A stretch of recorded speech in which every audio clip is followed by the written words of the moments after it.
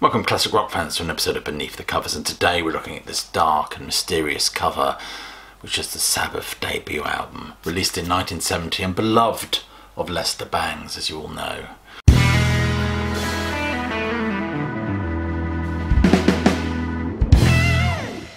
This album, there's no doubt this album is seen as a ground-breaking album. Many would argue that it uh, sets the blueprint for what would become heavy metal.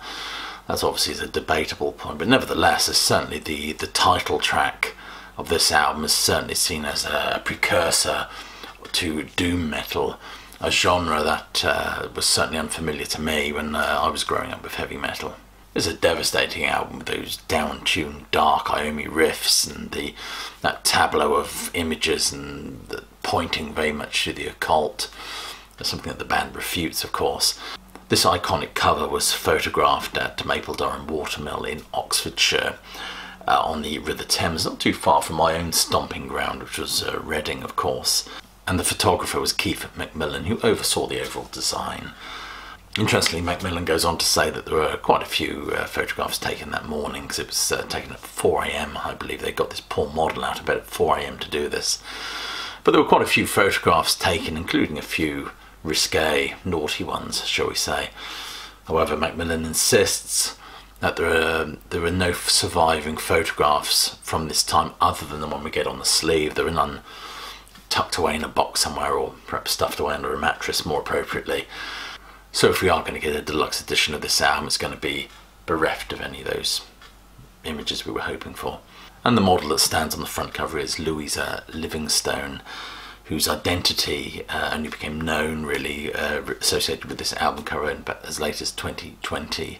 Also interesting is that gatefold sleeve that reveals the inverted cross and a poem written by um, Roger Brown. And it was a very unnerving poem full of sort of nasty visuals of uh, you know, um, uh, severed bird wings, poppies that bleed, mute birds tired of repeating yesterday's terrors, all leading to the line, of course, which seems to anchor it to the the main uh, the main cover, which is the by the lake a young girl waits, and seeing she believes half unseen, she smiles faintly at the distant tolling bell and the still falling rain.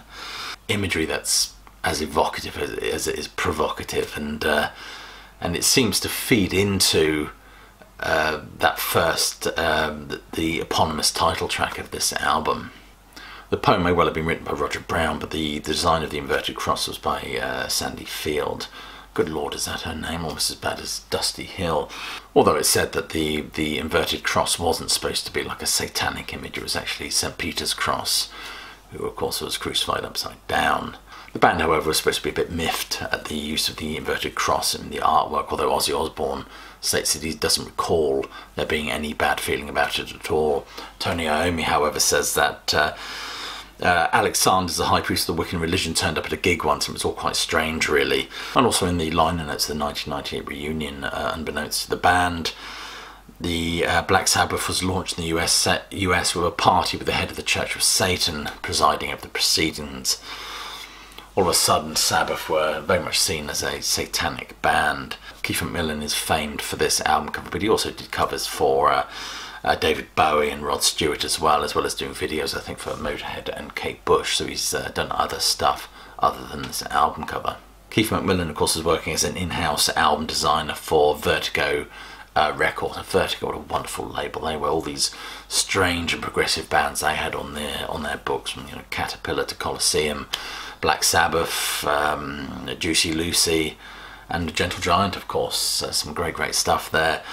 Of course, uh, Keith Macmillan uh, was introduced to Olav Wyper, who was the uh, head of, I think it was the uh, label president. Of course, they'd been fairly close before. I think I think uh, Keith Macmillan had assisted um, Olav or when he was um, directing, I believe, a Fleetwood Mac video to a black and white video for Albatross or Man of the World or something like that. Macmillan said in preparation for this album cover he actually listened to the album on uh, on tape. He said it wasn't his cup of tea really, describing himself as an old hippie. All this dark, gloomy, heavy metal stuff just wasn't his bag. But nevertheless, it certainly suggested certain images to him as he was uh, listening. Keith Macmillan, of course, was uh, heavily influenced by the surrealist René Magritte, being one of them. I think. I don't know if you can detect any influences like that in this cover. Certainly the colouring is rather strange. And the colouring of this album is explained by the fact that he used um, Kodak infrared uh, aerochrome film, which was actually designed for aerial uh, photographs. And it gave this picture a rather pinkish hue. Very reminiscent of uh, Colosseum's Valentine's Suite, of course, which is another sleeve I think he's responsible for. But then he put the film through various other processes to make it feel or look grainy and undefined. So the photo shoot was taken at Maple Mapledurham Windmill, which was uh, a bit of a wreck, a bit of an old ruin at that time. It had a very dark and mysterious, um, ghostly feel to it. Now, of course, it's uh, probably a popular site for tourists. Uh, um, it's probably lost all that original ambience. He contacted the London Model Agency and they sent over Louisa Livingstone. He said she was absolutely fantastic. She was very uh, accommodating and cooperative. She was also very small as well. And he said that works in our, our favour. He wanted something quite diminutive and uh, smaller frame because it, it, added more grandeur to the landscape. Louisa has gone on to say that uh, I'm sure Macmillan said it was for Black Sabbath, but I don't know if that meant anything to me at the time.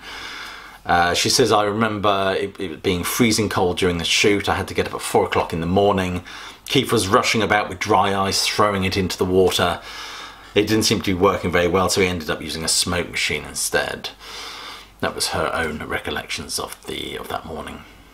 Macmillan says that Louisa wasn't wearing anything under that cloak, which led to some rather risque photographs. Although Macmillan said we decided to move away from using any anything, any hint of any hint of eroticism to it, as uh, that somehow distracted from the very foreboding and ominous atmosphere that we were looking to go for. And the framing and composition of this picture adds to the very dark vibe. There is a stuffed crow in the picture which um, was placed on the tree stump that was actually on the back cover, so to speak. We had him wired onto the tree, he says. His name was Yorick and he used to sit in my studio. Keith Macmillan also goes on to say there was a black cat that was given to Louisa, although she has no memory of holding a cat at all. She, she says she just thinks it's the way her hands are positioned. Uh, with the model, uh, Louisa perfectly understood that she it was about the evoking of a specific mood rather than an image.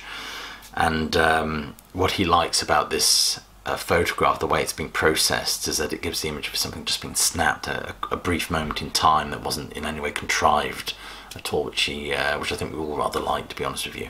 Of course, that's not the whole package. There is that poem, of course, by Roger Brown, and the photograph by Sandy Field, who um, Macmillan says he knew from art college. And to top it all off, Olav Viper or Viper said that uh, he had this inspired idea of releasing this record on February the 13th, 1970, a Friday the 13th of course, uh, a day in England that's just supposed to be particularly of uh, ill omen. The drummer Bill Ward has gone on to say about this cover that he loved it, it was mysterious, and it was kind of where we hung our hats at the time. Uh, it was all fantastic to me. I hated when I opened up the middle part and somebody put an upside down upside down cross in it. I hated that because that wasn't who we were. However, the model Louisa Livingstone thought that she enjoyed, that she liked the cover, but the photograph could in fact be anybody, really. Interestingly, um, uh, sometime after the album's release, a woman came to one of Black Sabbath's concerts claiming to be the woman that was photographed on that famous sleeve. Louisa Livingstone goes, goes on to say that that certainly wasn't her. She never attended or went to any Black Sabbath concerts, so who was that mysterious woman, eh?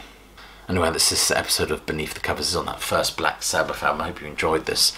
Please be sure to click like, subscribe, and uh, check all the links below the video. Do all that stuff. Other than that, I hope you're all well and healthy. And more importantly, of course, is that you keep listening.